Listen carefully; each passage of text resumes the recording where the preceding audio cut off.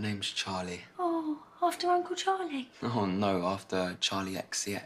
Oh. The singer was thrilled that EastEnders wanted to name a baby after her, and her fans found the scene relatable too. She gave a shout out to the gays in the writer's room.